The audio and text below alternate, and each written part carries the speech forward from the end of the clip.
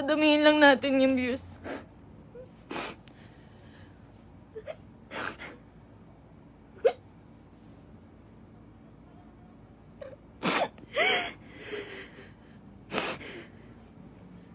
Magsasalita na po ako. Magsasalita na po ako. Padamihin lang po natin yung views.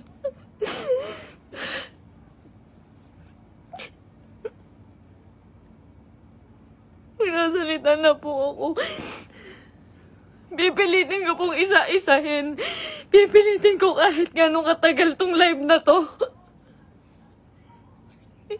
Iisa-istain ko po ang panggagago sa akin ni Merck. Ni Christian Merck Gray.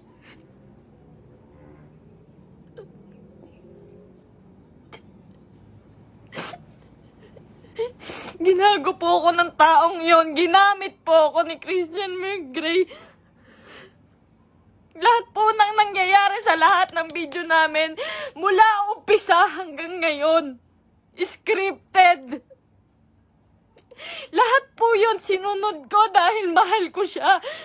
Dahil gusto ko ibigay yung buhay na gusto niya.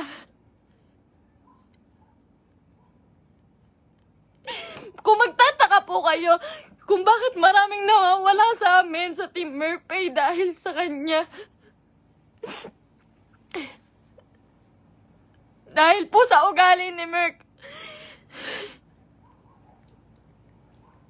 Napakademonyo po ng ugali ni Merc.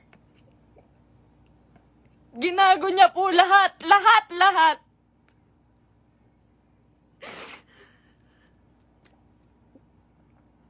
Ito po.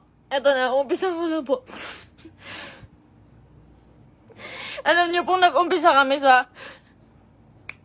Nung galing po siya sa Brusco. Galing po si Mark sa Brusco. Hindi po ako yung dahilan ba't siya nawala doon. Ayaw niya pong mabawasan yung, yung perang kikitain niya dahil po alam niyang malaki. Siya po ang pinakamalaking may kita sa Brusco. Siya po ang may pinakamalaking kita. Yung ibabawas na 5% doon, sa pera ni Merck siguro mababawas doon. 6,000, ay 16,000.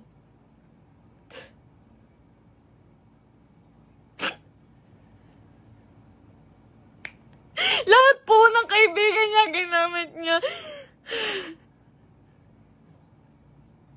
Hindi ko na po kasi kaya eh.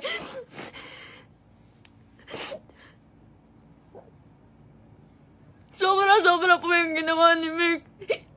Sobra, sobra. Hindi ko na po kaya. Pasensya na po kayo.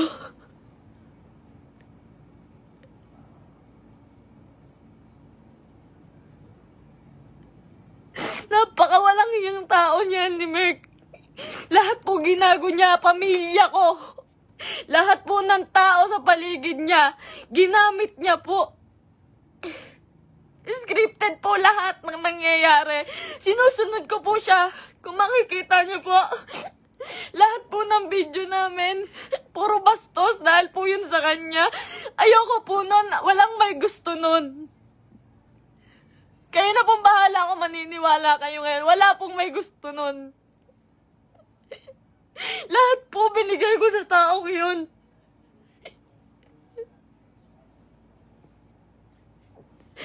Lahat po ng panggagamit sa katawan ko, lahat po ng...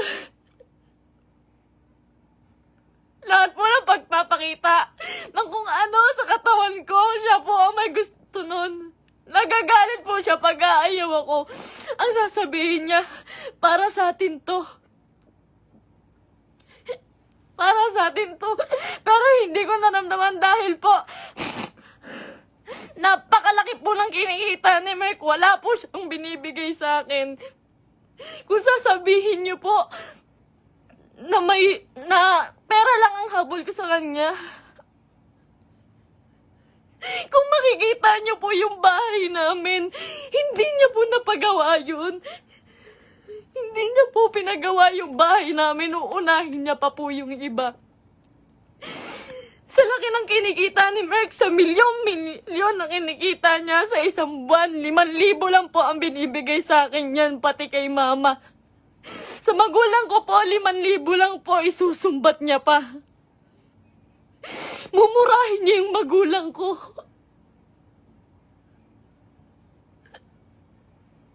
Sasabihin niya, manang-mana ka sa magulang mo. Ang bobobo niyo. Lahat kayo plastic. Ginaganon niya po yung magulang ko, hindi ko na po kaya. Ngayon po, nawawala po si Merck ngayon. Nawawala po si Merck ngayon. Lahat po ng nangyari scripted po. Scripted. Tinatago po ako ni Merck. Tinatago niya po ako. Tinatago niya po ako. Hindi niya po ako pinapalabas. Ayoko na po. Ayoko na talaga. Ayoko na po talaga. Ayoko na po. Ang ginagawa niya lang po. Nandito po ako ngayon kasi nawawala po si Merck.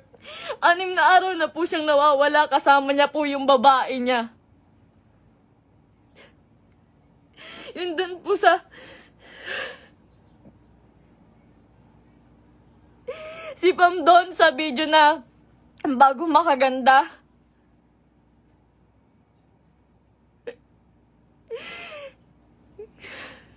Niya po sisihin yung kambal doon, si Chen Chen tsaka si Tantan. Yung Centeno twins po, hindi, wag niyo po silang sisihin doon. Dahil utos po ni Merck lahat yun. Ako po, hindi ko na po kaya si Merck. Hindi ko na po kaya si Merck. Demonyo na po yung utak niya. Sobrang, sobrang mukhang pera. Sobrang mukhang pera ni Merck.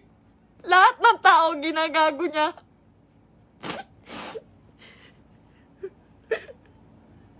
Sinisira niya po yung nanay ko po. Yung nanay ko na na nasisira na din po sa inyo. Yung sasabihan po yung nanay ko na mamatay ka na siya po may utos nun. Siya po may utos nun. Ginagawa niya pong robot yung pamilya ko dahil sa akin na lang po tumitingin yung pamilya ko. Sa akin na lang po tumitingin yung pamilya ko. Ba't nila sinusunod si Merck? Kada pupunta po sila sa bahay, may pagkain na sila. Maghihintay kami ng script niya. Magagalit pa po yan pag nagkakamali ako. Pag may mali po ako nasasabi, pag kailangan ulitin ng video, magagalit pa po yun. Lahat po ng video namin, scripted. Dahil po sa kanya.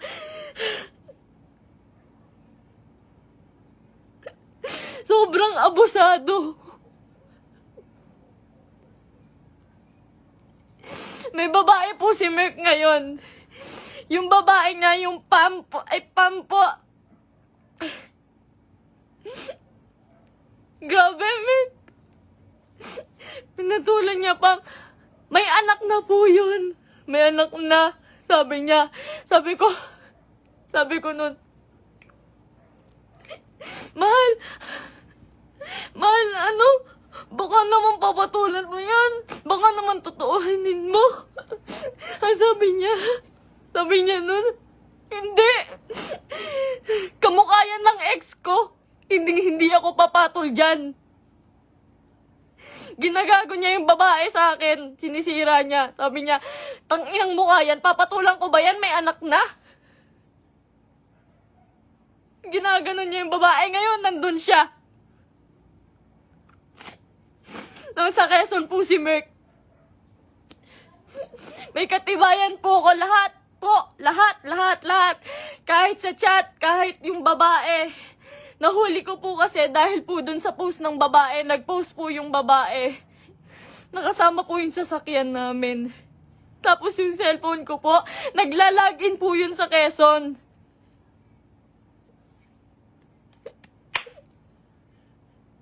Lahat po ginawa ko kay Mer. Pasensya na po kayo. Ako po mismo humihingi ng pasensya dahil po kinonsinti ko siya.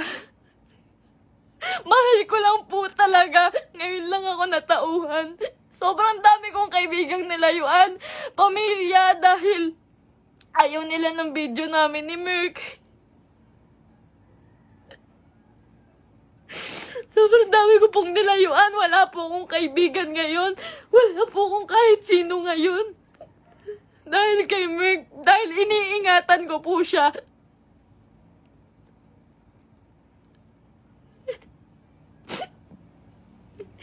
Kaya totoo po yung sinasabi niyo, scripted lahat sa amin. Scripted lahat ng buhay na binigay sa akin ni Merck. Lahat po ng pera niya sa kanya lang po. Sa laki po ng, ng pera niya, nagkakautang pa po siya. Sobrang sama, sobrang samang tao.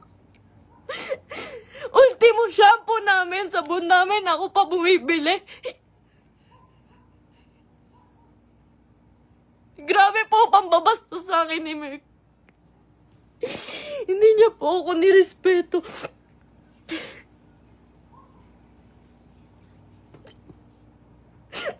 Nawalan po ako ng kaibigan dahil sa kanya. Huwag niyo po sisihin lahat po ng taong nakapaligid kay Merck. Dahil po lahat yun inuutusan niya. Sobrang bossy. Hindi niya naman po pinapalamon.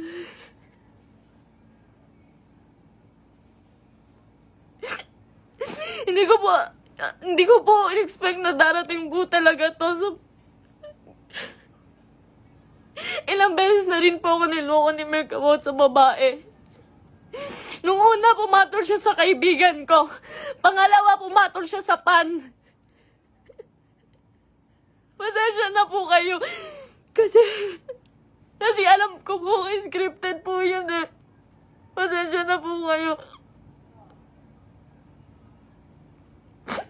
Ako na po humihingi ng pasensya sa inyo. Ginawa ko lang po yun kasi sobra po akong nagmahal. Bago po namin makuha si Asurada, ang inuulam po namin araw-araw, itlog at tuyo araw-araw para makuha niya lang yung sasakyan niya. Lahat po ng meron siya ngayon, sa kanya po nakapangalan. Pati yung bangko po, sa kanya po.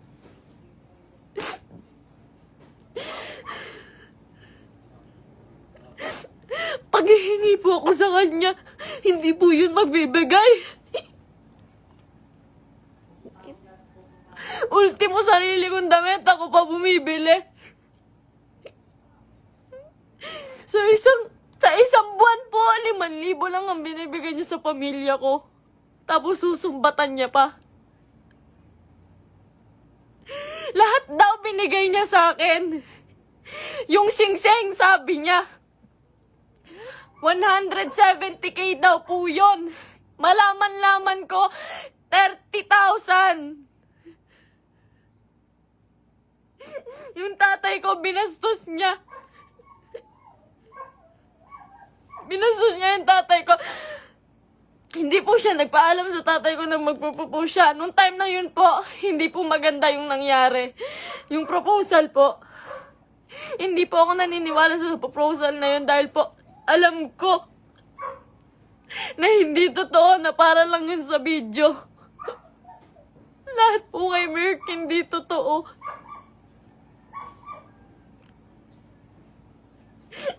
Yung buhay niya, yung pagkatao niya, yung buhay na binigay niya sa akin, hindi po yun totoo.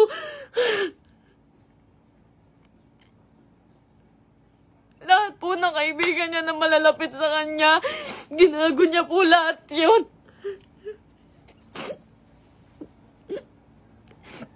May nakakita po sa kanila dito sa Naik.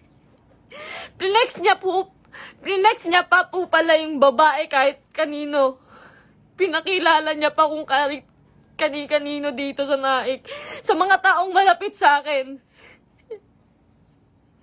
Hindi niya alam.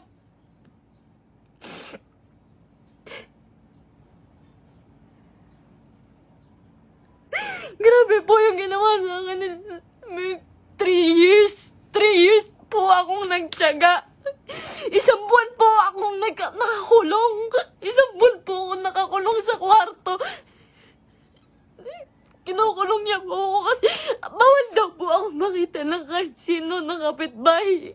Nandito lang po ako pag uuwi po ako sa Antipolo. Madaling araw niya po ako iuuwi doon. Para walang makakita sa akin.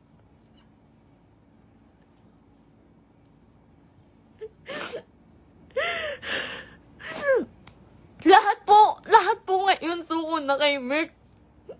Nung isang araw po nasa ospital ako, kasi nagtake po ako ng anxiety, sobrang depressed na po. Sobrang depressed na po. Hin- Hindi niya alam yun, hindi niya alam na naghahanap ako sa kanya. Kahit saan naghanap po ako.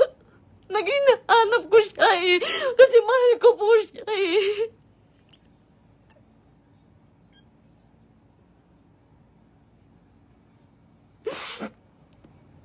Ilang araw po wala akong tulog, wala, ako, wala akong kain, kakahanap sa taong yun. Tapos malaman-laman ko na kasama niya yung babae. Huwag niyo pong sisisihin yung mga tao sa paligid niya dahil siya po ang nag ang naggawa nitong gulong to.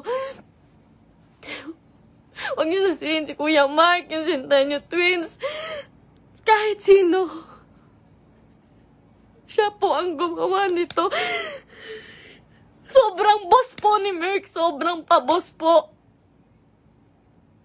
Sa lahat po ng video. Kung makikita niyo po, lantad na lantad yung suso ko para lang mapanood ng mga tao.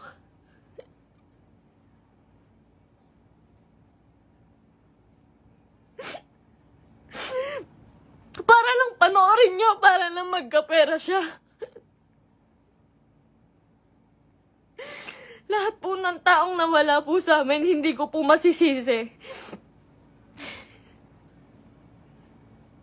Eternals TV, Brusco, Arnold, Tatay Onin, Marami pa pong nawala sa aming mga kaibigan dahil po sa kanya. Dahil hindi po nila kaya. Hindi po nila kinakaya si Merck. Nagmahal lang po ako. Pasensya na po. Pag mag-short film po kami, magkamali lang po ako ng unti. Nangina naman mahal, galingan mo naman. Pati po pag, pagkapahulog ko po sa hagdan, hindi po yun totoo. Ang sakit po ng katawan ko nun pagtapos. Ginawa ko yun sa kanya nung nagpakahulog ako sa hagdan.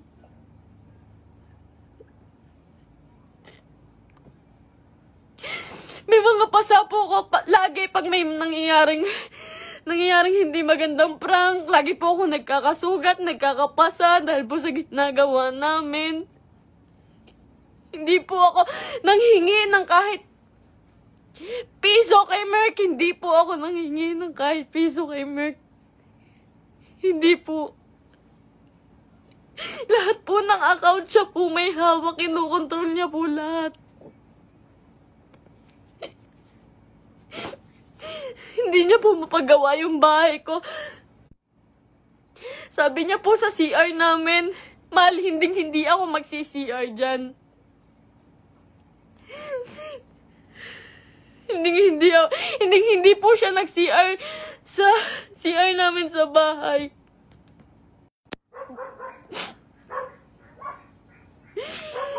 Pero hindi niya po yun mapagawa. Tinitiis niya po yun. Kayo na pong bahala kahit hindi na po kayo maniwala. Hindi ko po kayo masisisi. Kasi lahat ng ginawa ni Merck, hindi totoo yun. Wala nang totoo kay Merck. mahal na mahal ko yun. Ang dami kong ginawa para sa kanya. Alam po yan ang mga totoong kaibigan namin. Alam po nila kung gaano ako nagsasakripisyo araw-araw. Napakarami niya pong pera, pero ang dami niya rin pong utang. Hindi ko na po alam kung saan niya pinupunta yung mga pera. Kung makikita niyo naman po kasi sa mga video namin, wala po talaga akong hawak na May mga pangalan na damit, may pangalan na sapatos. Lahat po yun ako lang. Ako lang po. Uutang pa po ako sa ibang tao, magkapera lang. Lagi po akong umuutang sa ibang tao, magkapera lang.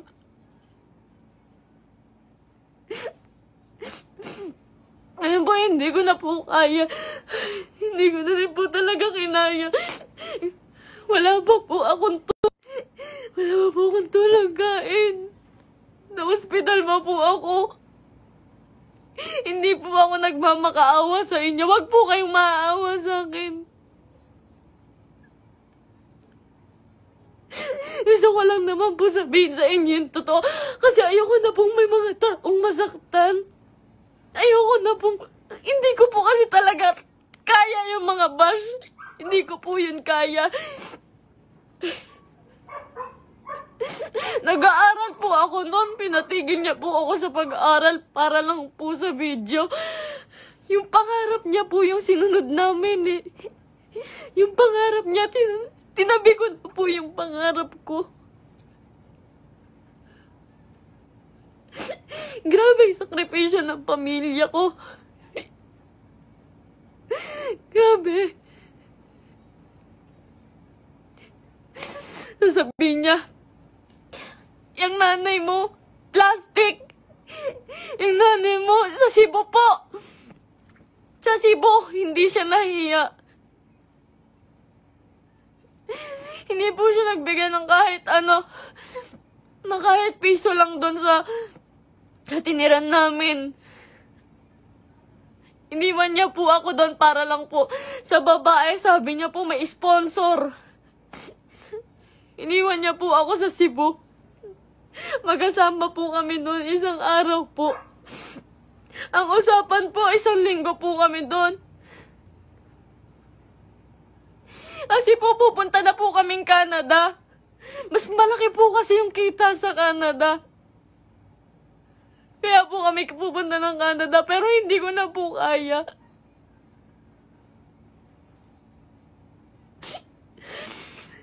Ganto, ngayon, fiancé niya pa lang po ako, pero grabe na po yung ginagawa niya sa akin. Sobrang mukhang pera ni Merc.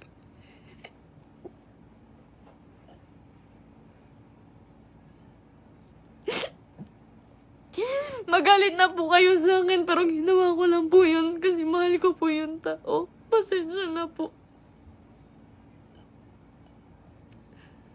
Pasensya na po.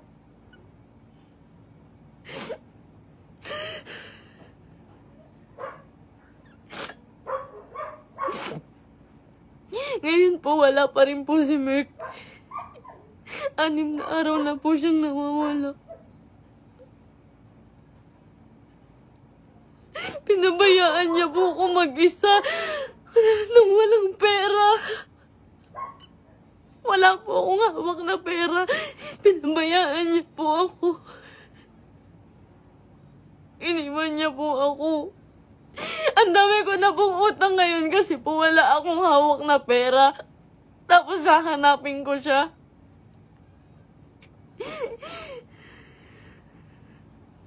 Masakit po kasi lalo eh. Fiancé na po kasi ako eh.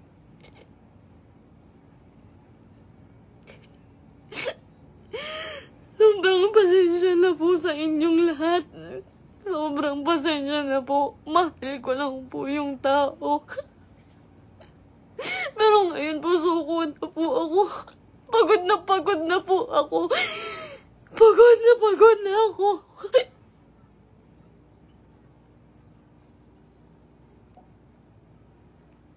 Pasensya na po.